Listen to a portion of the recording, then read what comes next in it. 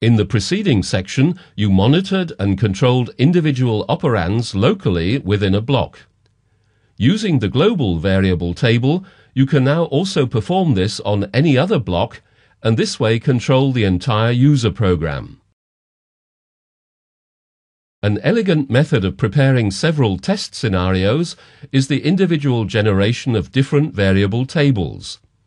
These tables can be generated in the implementation phase and saved in the offline project.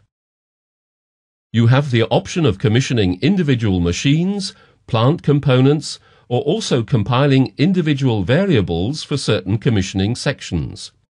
This enables you to fix planned test processes in a reproducible manner. This table can later also be used for servicing and maintenance purposes. Insertable comments and the display of the symbolic names provide additional information on the individual operands. The display columns can be adjusted via the View menu. Additionally, you can also define conditions for reading and writing the variable values. In order to work with a variable table, we switch it online with the Monitor Variable button. Now you can monitor the status values of the listed global variables and define modify values. To do this, you enter the control value true and press the modify variable button.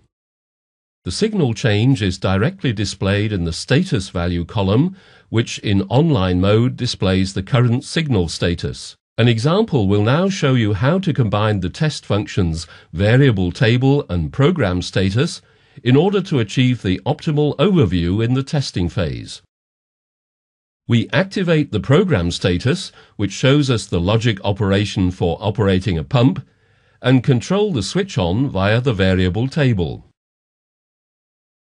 The effects can be immediately observed in the program status.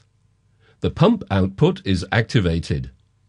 If against all expectations the pump switches off, the missing conditions can be immediately recognized in the colorized signal flow.